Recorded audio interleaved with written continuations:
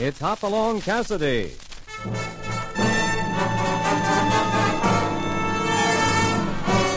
With action and suspense, out of the Old West comes the most famous hero of them all, Hopalong Cassidy, starring William Boyd.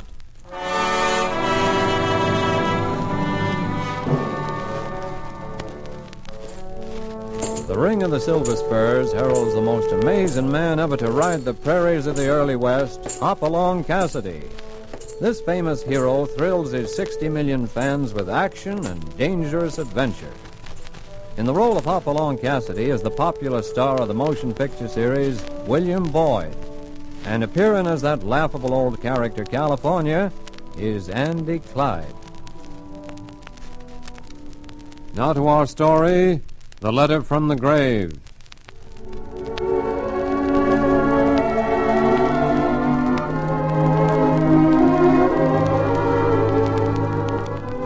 The week's mail had lain on the table next to the cook stove all day. A couple of harness catalogs, a few bills, a fancy printed card announcing the arrival of a new horse doctor in Baker's Crossing, and the letter, an ordinary looking letter in a plain envelope postmarked a week or so before in Gold Run, Montana Territory. It was addressed to Hoppy, and there was something familiar in the handwriting, something that dug deep into his memory as he slit the envelope, took out the letter, and began to read. Dear Hoppy, I'm only writing you now because there's no one else I can turn to. I remember once down in Dodge, you told me to get word to you at the bar 20 if I ever found myself in a tight place. I'm in it now, so deep I don't think I'll get out of Gold Run alive. I can't say any more here. But if you meant what you said that day in Dodge, get up here on the gallop, because, partner, I need you now. Your pal, Jack Bannock. Jack Bannock. That concerned Pinto Cayuse is worse than a jackrabbit in a hot stove. If you want that critter broke, hop along, Cassidy. You can darn well top him yourself. I ain't. a. Uh, uh, what's the matter, Hoppy? Tell Johnny to round up our bedrolls and get a pack horse ready. Pack horse? Uh, where we going? Montana, place called Gold Run. Friend of mine's in trouble up there. Yeah? Who's that? Jack Bannock. I knew him when I was a kid, California, down in Dodge City. One of the best friends I ever had. Funny hearing from him now after all these years. Yeah. Uh, how long ago did he write? Postmark says a week ago. Date on the letter is. Hmm. Uh, what's the matter? The letter was written October 10th, 1873. Fifteen years ago.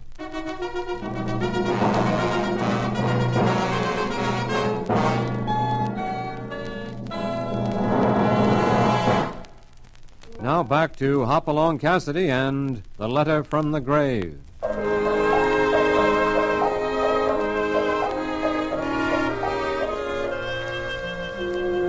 The letter, written 15 years ago, has at least settled one thing in Hoppy's mind. Jack Bannock is dead.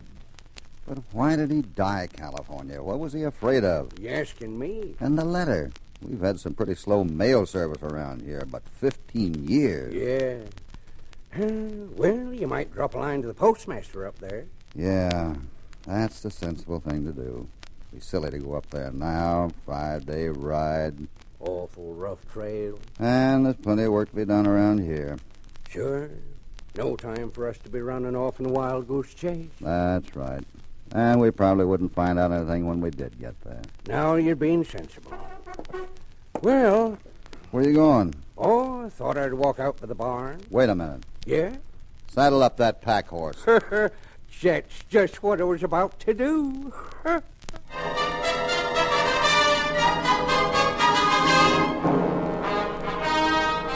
I can't say any more here, but if you meant what you said that day in Dodge, get up here on the gallop, because, partner, I need you now.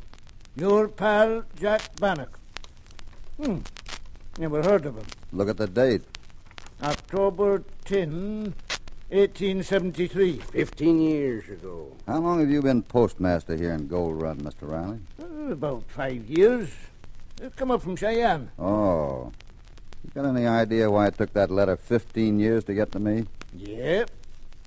Reckon I'm partly responsible myself. That letter from the sack of mail I uncovered a couple of weeks back. Uncovered. That's what I said. Know much about Montani, mister? Some? Ever heard of the Creed gang? No, can't say I have. Well, there was a bunch of outlaws who took over this country in late 72. And when I say outlaws, I mean the real article. Well, how was they so different? The Creeds was organized. You had spies in the mines, spies in Virginia City, at Alder. Oh, the man never knew but what the grocerman and the kid who swept out the saloon was a Creed. For the time there wasn't one miner to get out of the whole section with his folk, alive, that is. Some say the Creeds killed a hundred, some say two. What's this got to do with the letter? Yeah, I, I was coming to that. You see, we just knocked down the old Webster house where the Creeds used to hold their meetings. When we tore it down, we found the sack of mail jammed in a hollow wall. So I just gathered her up and sent her on. Oh, I see. What happened to the Creed? Oh, you know how it goes. Folks will stand for that kind of thing for just so long. Then the first thing you know, they start oiling up their guns and the woods is suddenly full of vigilantes. I tell you what you do.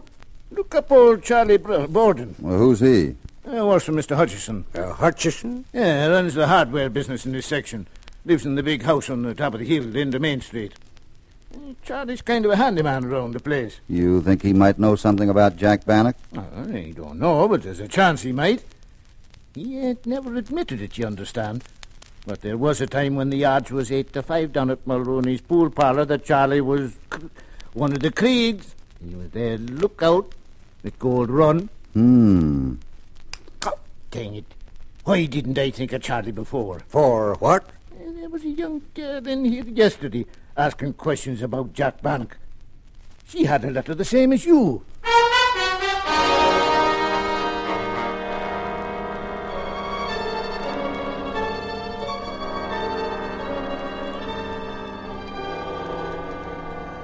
Bannock. B A N N O C K, John Michael.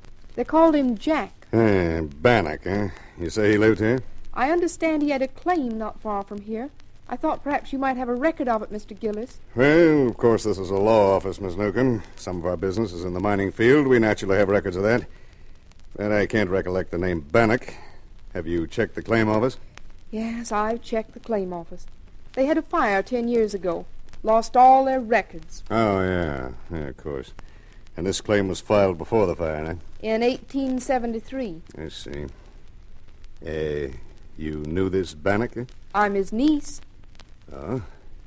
Now you're trying to locate Mr. Bannock, eh? No, you see, I'm pretty sure he's dead. It's about his claim. Listen, Matt, Kennedy wants his money right now. Uh, Jeff. Huh? Oh, oh, I- I'm sorry I Jeff, uh, this is Miss Sarah Newcomb, my, my partner, Jeff Larson. How do you do, Mr. Larson? Howdy, ma'am. Uh, Miss Newcomb is the niece of a man who had a claim here 15 years ago, named of John Michael Bannock. Bannock, you mean she knows what? I just explained to Miss Newcomb we had no records of any Bannock in our files. Oh, yeah. Well, what was I thinking of? Braddock. That's it. Uh, uh, Miles, Miles Braddock. Had a claim over in Alder Gulch. Yeah. Well, uh, what can we do for you, Miss Bannock? Newcomb. Oh, sorry, I'm having name trouble today. Yeah. I, uh, I think perhaps we might be able to help Miss Newcomb locate her uncle's claim. It's not a claim, actually. It's what he got out of it. Yeah? I'm afraid I don't understand. Were you here in 73, Mr. Gillis? Why, why, yes, but Then you remember the Creeds. yeah. Yeah, I remember the Creeds. My uncle must have known he couldn't get out of here with his gold, so So, uh, what?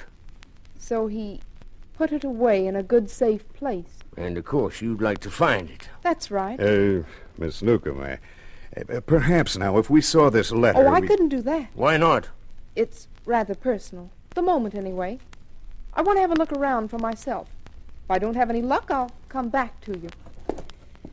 Thanks anyway. It's uh, been a pleasure, Miss Newcomb. If you run into anyone who might have heard of my uncle, I'd appreciate it if you. Send him to you? Yeah, yeah, of course. Good day. Yeah, good day, ma'am. Why, you infernal idiot, you stupid blabbing nincompoop, I, I, ought to... I didn't know, Matt. How was I? Ah, to- shut up. I, I was leading her by the nose when you opened your big mouth. I... Carly, get that file out of there. Here, here, Matt. Now, let's see. Bannock. Yeah, Bannock, John Michael Bannock. Morning Star Mine, west slope of Beaver Ridge, above junction of Alder Gulch and Little Creek. Get it there. Here it is. All right, let's see it. Yeah, yeah. Here we are. Operated six months in 72, seven months in 73. Estimated net take, $80,000. Blind pocket, streak panned out September 73. Yeah. Last note here says Bannock preparing to leave October 5th. Creed's get Bannock? I don't know. What do you mean you don't know? You was a member, wasn't you? Listen, Larson. One of these days you're going to talk yourself right into a hole in the ground. No, no, I'm, I'm sorry. Yeah. Little lady told us one thing, though. The Creeds never got that dust. Bannock buried it somewhere. Now, she'll be nosing around town asking questions, and sooner or later, someone will steer into the little man. Yeah, I think we'd uh, better have a talk with it first. Charlie? Yeah. Charlie Borden.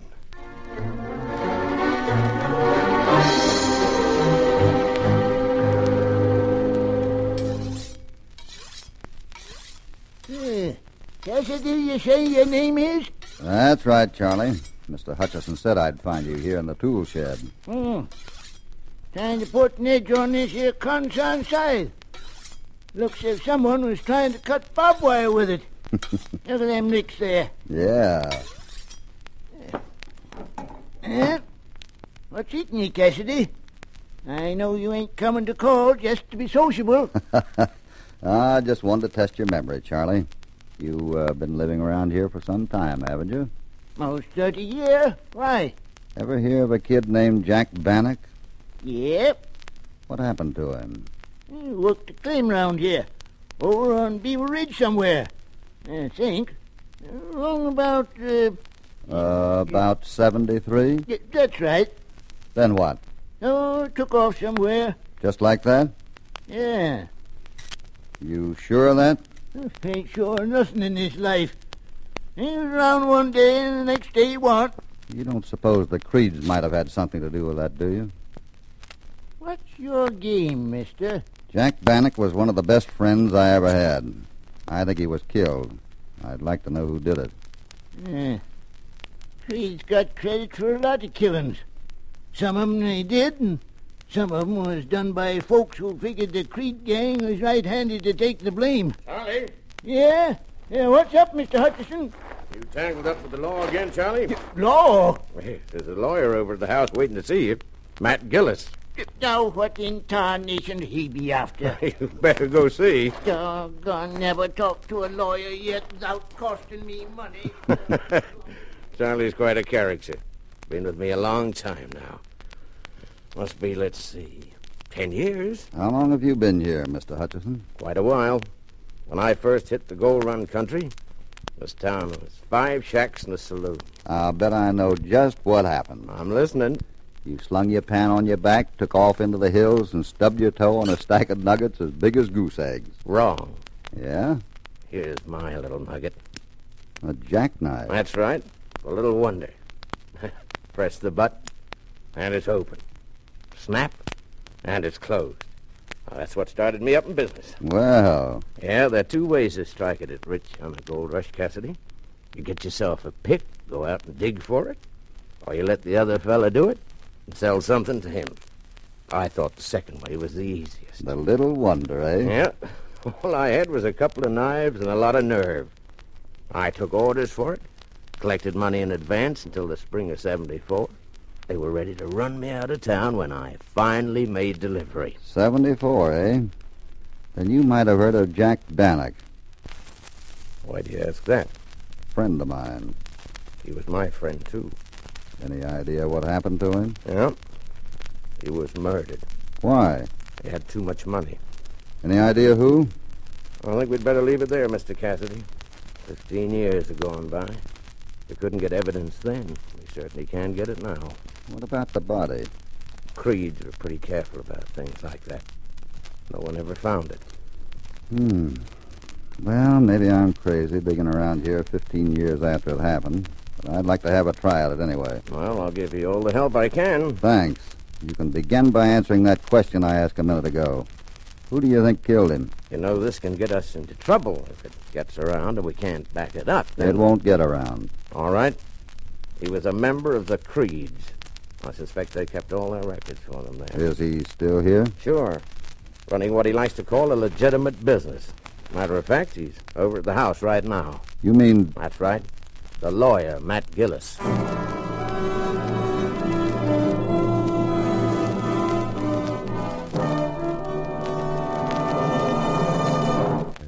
Now back to Hopalong Cassidy and the letter from the grave.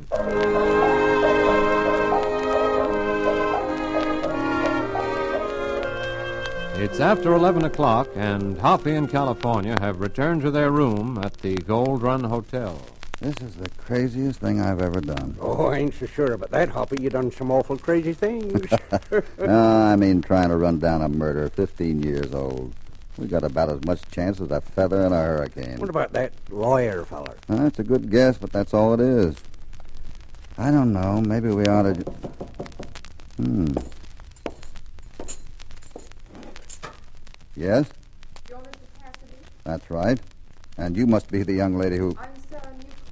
Will you come in, Miss Newcomb? This is my partner, California Carlson. Howdy, miss. How do you do? I'll come right to the point, Mr. Cassidy. I'd like to know what you're after. What do you mean? You've been all over town today asking questions about Jack Bannock. Well, I understand you've been doing the same thing. I have a right to. So have I. Have you? Sure. Take a look at this letter I have here. Let's see. Oh, here it is. Dear Hoppy, I'm only writing you now because. Oh. You. You just got this? That's right. Now, do you mind if I ask what you're up to? I'm Jack Bannock's niece. He wrote my mother a letter, too. Here. Hmm. Dear Helen, I've struck it rich. Over 50,000 in dust to date from our little morning star. I suppose we ought to feel like celebrating, but we don't. Finding an ore pocket in Gold Run these days is like signing your own death warrant. I won't say more, but if I'm not back by spring, you'll know it happened. Our dust is cached away. Come here when the trouble's over. You'll find the key in the green gallows. Love, Jack. The green gallows? I've asked everyone. Nobody knows what it is. Hmm. Well, this was written to your mother. She passed away over five years ago. Oh, I see. And she and Jack were in this together? Why, no. Why do you say that? He says we here. We don't feel like celebrating. Our dust is cached away. Why, I never thought of that. Did he have a partner? I don't know. what you make of it, Hoppy? I think I was a little too pessimistic a while back, California. We might run this down yet. The money? Yes, and the murderer. I think if we find one, we've got the other.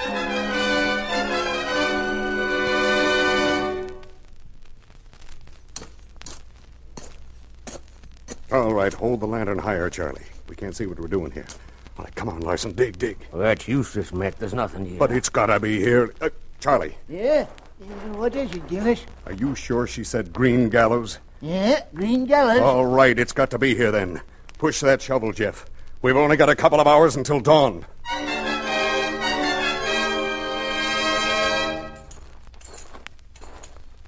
You say this is it, Mr. Riley? Yep, this is her. The official gallows of Gold Run right here behind the jailhouse. Hmm. Was it ever painted green? No, none of our customers to date has been particular about color, so we just left her natural. Hoppy, maybe we ought to see the sheriff about this. You're seeing him right now. Uh, you? Yep.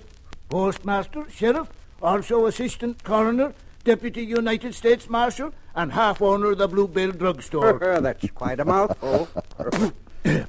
Man's got to make a living these days. Prices is awful. Bacon just went up to ten cents a pound. Hmm. How long have these gallows been here? As long as I've been around, more than five years. Have there ever been any others? Nope. Hmm. Well, this is mill lumber. They didn't get a sawmill around here until ten years ago. There must have been another gallows somewhere. A dead warrant, I tell you. What about the Creed gang? You told me yourself they were strung up in 73. Not on no gallows. well, where for the love of Mike? Tree. A tree. green. Green gallows. Wait a minute. What tree? Big oak. Out on the Virginia stagecoach road. That's it. That's what he meant. Come on. Let's get hold of Miss Newcomb. I want to take a look at that tree.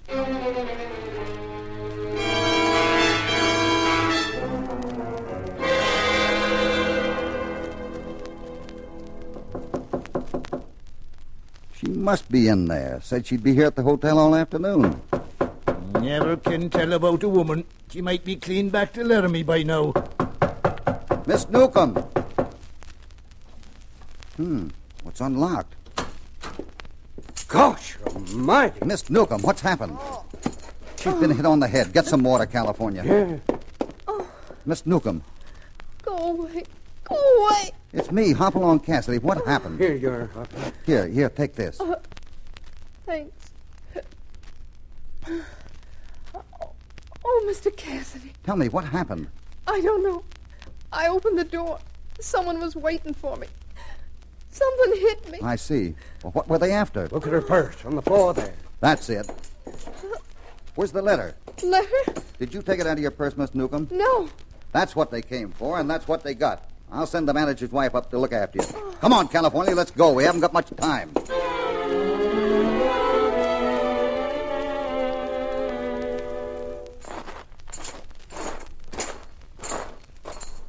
Well, this is her, Cassidy. They tell me they used to sling a rope over that big limb there, and Yeah? Looks like we're a little late, Hoppy. yeah. Oh, whoever it was sure did plow up the ground. That doesn't mean they found it. Why not? Jack never would have buried his dust here with stagecoaches passing by every day, along with riders, mule teams, and who knows what else. Somebody'd spot that new turned earth in a minute. Well, you know what the letter said. The key, it said, not the gold itself.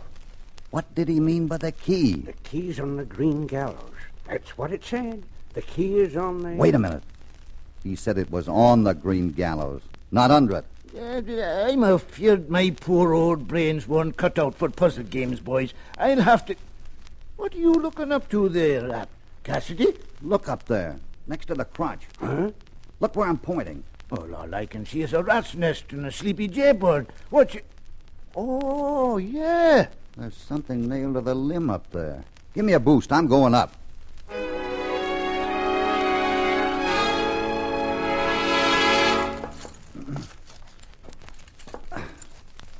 Can you get to it, Hoppy? Yeah, just a second now.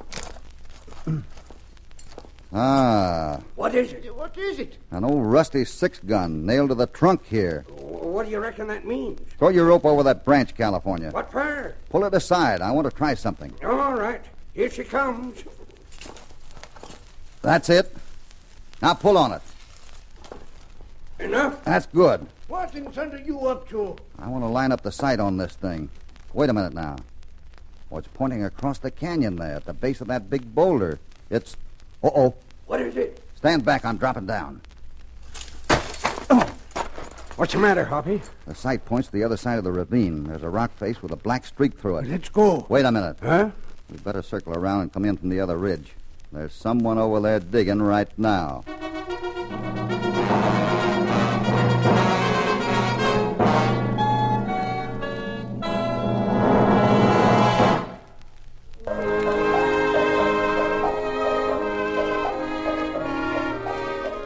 The key to Jack Bannock's gold cache, a rusty six gun nailed high on a tree he called the Green Gallows, has led Hoppy, California, and Sheriff Riley to the crest of a ridge on the other side of the canyon.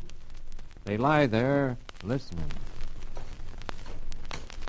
Hold it. Huh? He stopped digging. He must have got down to it. Riley, Yeah? circle around the other side of the boulder. We'll get down this way. All right.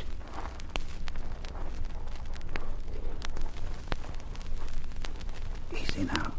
Stick with me, California. You betcha. He's down in the hole. Come on.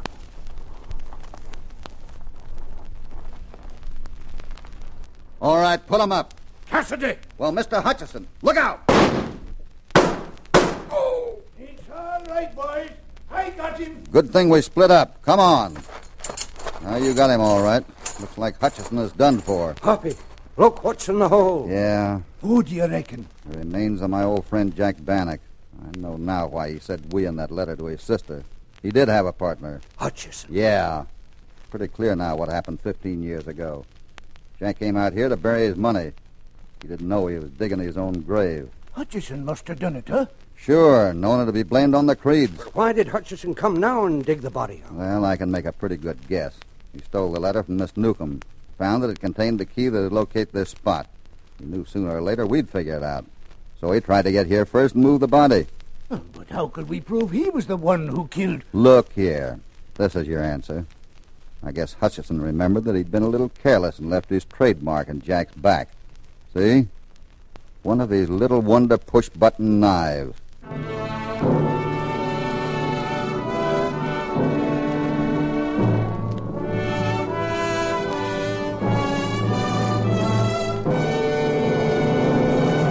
And so an exciting adventure ends for Hoppy in California. They'll get back to the Bar 20 just about roundup time and settle down to a peaceful ranch life. But we've a hankering it won't last for very long. Somewhere there'll be trouble, and that's when Hoppy will ride out into another dangerous escapade. Hopalong Cassidy, starring William Boyd, is transcribed and produced in the West by Walter White, Jr. The Letter from the Grave was written by Harold Swanton. All stories are based upon the characters created by Clarence E. Mulford. This is a Commodore production.